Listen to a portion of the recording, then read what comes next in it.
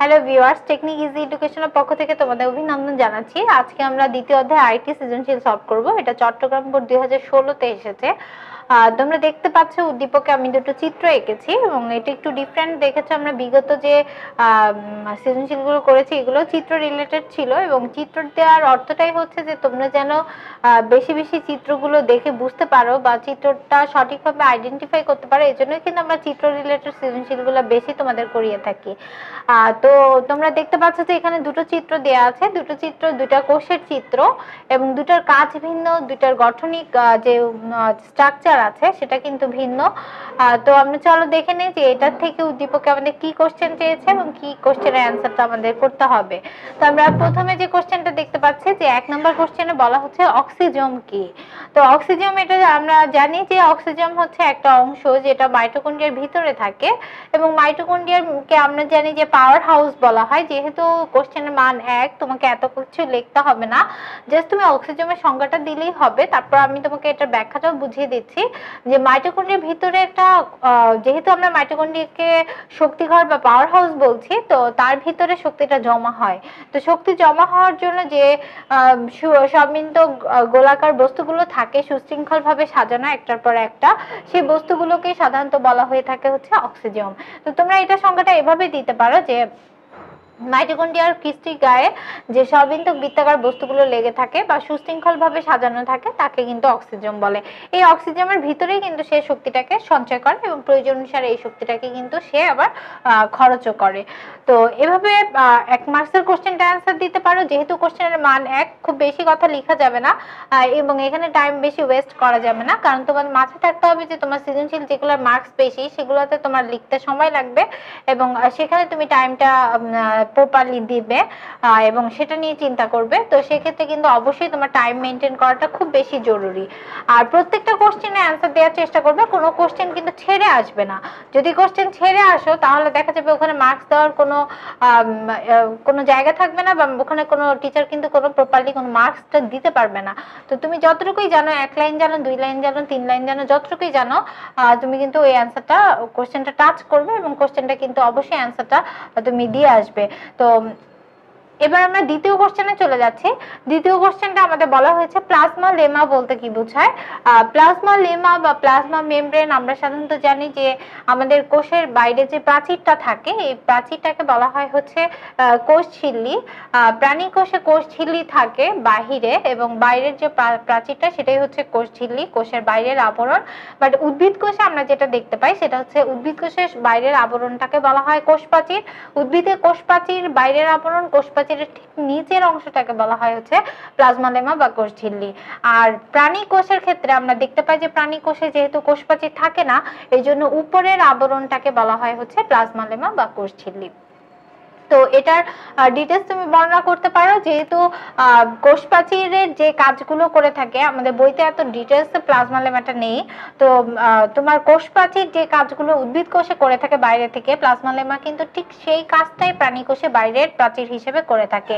তো একটা কোষের সাথে পার্শ্ববর্তী কোষের সম্পর্ক, একটা কোষে কতটুকু খনিজ, কতটুকু পানি চলাচল করবে, এগুলো নির্ধারণ কোষের আকৃতি পরিবহন কোষের যে ভিতরের বস্তু বাইরে না আসা বা বাহির থেকে প্রয়োজনীয় বস্তুগুলো ভিতরে নিয়ে যাওয়া, এই সব কাজগুলোই কিন্তু প্লাজমা লেমা বা কোষ ঝিল্লি দ্বারাই সম্পন্ন হয়ে থাকে। তো তোমাকে এখানে যেমন ব্যাখ্যাটা করতে হবে, বর্ণনাটা দিতে হবে, সাথে সাথে কিন্তু বৈশিষ্ট্যগুলোও এখানে অ্যাড করতে হবে। যেহেতু এই কোশ্চেনটার মান দুই, সেক্ষেত্রে অবশ্যই কোশ্চেনটা একটু বাড়িয়ে লিখতে হবে। এবং এখানে প্রপার যে অ্যান্সারটা তুমি করতে পারো, সেটা কিন্তু এখানে যে বৈশিষ্ট্য এবং কাজগত যে বিশ্লেষণটা বইতে দেওয়া আছে, এই প্রথমে বৈশিষ্ট্য লিখে দেন তুমি কিন্তু এটা দুইটা, তিনটা কাজ উল্লেখ করে দিতে পারো। তো দ্বিতীয় কোশ্চেনটা নিশ্চয়ই বুঝতে পেরেছ। এরপর আমি তিন এবং চারে চলে যাচ্ছি। তিন এবং চারের যে কোশ্চেনগুলো থাকে, এগুলো উদ্দীপকের সাথে রিলেটেড কোশ্চেন থাকে। তো উদ্দীপকটা যদি তুমি সঠিকভাবে নির্ণয় করতে না পারো, তাহলে কিন্তু তিন এবং চারের কোশ্চেনটা তোমার ভুল হওয়ার সম্ভাবনা থাকবে। সেক্ষেত্রে তুমি এখানেই সময়টা বেশি ব্যয় করবে এবং যতটুকু সময় তোমার আছে, সেটাকে কাউন্ট করেই তোমাকে কিন্তু তিন এবং চারের অ্যান্সারটা প্রপারলি করতে হবে। এবং অবশ্যই স্ট্যান্ডার্ড মিডিয়ামে করবে এবং কি চাচ্ছে সেটা বুঝে অবশ্যই অ্যান্সারটা করবে। প্রথমে যদি আমি তিন নাম্বার কোশ্চেনটা দেখি, বলা হয়েছে এ চিহ্নিত অঙ্গাণুটি গুরুত্ব ব্যাখ্যা করো।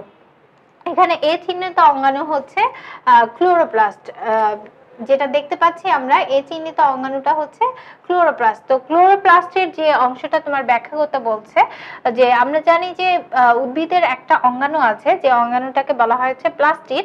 এটা উদ্ভিদ কোষে থাকে বাট প্রাণী কোষে কিন্তু এই অঙ্গাণুটা থাকে না। প্লাস্টিড হচ্ছে এমন একটা অঙ্গাণু, যে অঙ্গাণুটা উদ্ভিদ কোষে বর্ণ বা রং ধারণ করে। এই প্লাস্টিডকে আমরা আবার তিন ভাগে দেখতে পাই, একটা হচ্ছে লিউকোপ্লাস্ট, একটা হচ্ছে ক্রোমোপ্লাস্ট, আর একটা হচ্ছে ক্লোরোপ্লাস্ট। লিউকোপ্লাস্ট যেটা দেখা যায়, সেটা হচ্ছে শিকড়ে দেখা যায়, যেখানে সূর্যের আলো পৌঁছাতে পারে না। যার কারণে এটা একেবারেই বর্ণহীন হয়ে থাকে। আর ক্রোমোপ্লাস্ট যেটা দেখতে পাই, এটা ফুলের রঙিন অংশ, ফুল, ফল, এই ধরনের যে অংশগুলো আছে উদ্ভিদে সেই জায়গাতে দেখতে পাই। আর ক্লোরোপ্লাস্ট যেটা থাকে, এটা কিন্তু সবুজ অংশে দেখতে পাই এবং সবুজ অংশটা তোমরা জানো পাতাই বেশি থাকে। এছাড়াও কচি কাণ্ডেও কিন্তু সবুজ অংশ থাকতে পারে। তো ক্লোরোপ্লাস্টের মেইন কাজ হচ্ছে ক্লোরোফিল নামক রঞ্জক পদার্থ ধারণ করা যার কারণে উদ্ভিদের সেই অংশটা কিন্তু সবুজ হয়ে থাকে। তো এটারই কিন্তু গুরুত্ব ব্যাখ্যা করতে বলছে, এখানে কিন্তু গঠন চায়নি। তোমাকে অবশ্যই মাথায় রাখতে হবে যে গুরুত্ব এসেছে, তুমি গঠন লিখে দিয়ে আসছো। এটা কিন্তু তুমি এখানে কিন্তু জিরো পাওয়ার সম্ভাবনা থেকে যাবে। তো তোমাকে এটার কাজ ব্যাখ্যা করতে হবে। এটা অ্যাকচুয়ালি কি কাজে এটা ইউজ করছে? উদ্ভিদ তোমরা জানো যে ক্লোরোফিল ছাড়া খাদ্য তৈরি করতে পারে না। সালোক সংশ্লেষণের জন্য উপাদান, চারটা উপাদানের মধ্যে ক্লোরোফিল অন্যতম উপাদান এবং এই ক্লোরোফিলের পরিমাণ যদি ঠিক না থাকে, তাহলে সেখানে খাদ্য তৈরি ব্যাহত হবে এবং খাদ্য তৈরির পরিমাণও কিন্তু কমতে থাকে।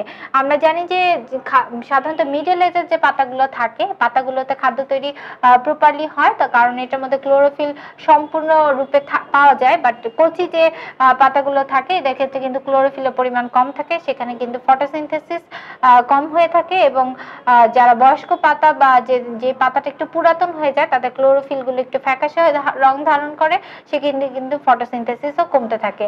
তাহলে মিডল এজে যেগুলো থাকে, এগুলোর ক্ষেত্রে কিন্তু ক্লোরোফিলের পরিমাণ সঠিকভাবে থাকে এবং এরাই কিন্তু পর্যাপ্ত খাবার তৈরি করতে পারে। তো এভাবে কিন্তু তুমি ক্লোরোপ্লাস্টের গুরুত্বগুলো বর্ণনা করতে পারো। এরপর আমি চার নাম্বার কোশ্চেনে চলে যাচ্ছি। চার নাম্বার কোশ্চেনটা বলা হয়েছে বিচিহ্নিত অঙ্গাণুর জীবদেহে অনুপস্থিত থাকলে কি ধরনের সমস্যা হতে পারে? এই বিচিহ্নিত অংশটা যদি অনুপস্থিত থাকে, তাহলে যে শক্তিটা সঞ্চয়ের যে জায়গাটা, সেই সঞ্চয় করার জায়গাটা থাকতো না। কারণ তোমরা জানো যে পাওয়ার হাউস বলা হয় কিন্তু মাইটোকন্ড্রিয়াকে আর এটা যদি না থাকতো তাহলে কিন্তু প্রাণী এবং উদ্ভিদ কারও দেহে শক্তিটা সঞ্চয় করা সম্ভব ছিল না। আর শক্তি সঞ্চয় না আমরা জানি কাজ করার সামর্থ্যকে শক্তি বলে। শক্তি যদি আমরা সঞ্চয় করতে না পারতাম, তাহলে কিন্তু আমাদের আমাদের যে দৈনন্দিন কাজের চাহিদা রয়েছে বা কাজগুলো আমরা সম্পন্ন করি, এই কাজগুলোতে আমাদের শক্তিগুলো ব্যয় করতে পারতাম না।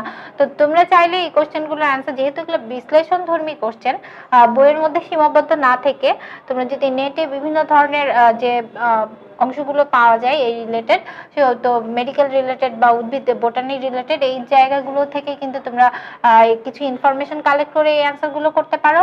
এছাড়াও তোমরা যদি উচ্চ মাধ্যমিক বা উপরের ক্লাসের যে আরও উপর মেডিকেল টার্মের যে বইগুলো বোটানি জুলজির যে বইগুলো আছে, এগুলো দেখে যদি একটু কিছু অংশ কালেক্ট করে নিতে পারো, সেজন্য প্রপারলি তোমরা অ্যান্সারটা করতে পারবে। তো আশা করি তোমরা এই সৃজনশীলটা বুঝতে পেরেছ। নেক্সট এপিসোডে আমরা অন্য কোনো অধ্যায়ের সৃজনশীল নিয়ে তোমাদের সামনে আসব। আজকে দ্বিতীয় অধ্যায়ের সৃজনশীল এ পর্যন্তই। ভালো থাকো সবাই ধন্যবাদ সবাইকে।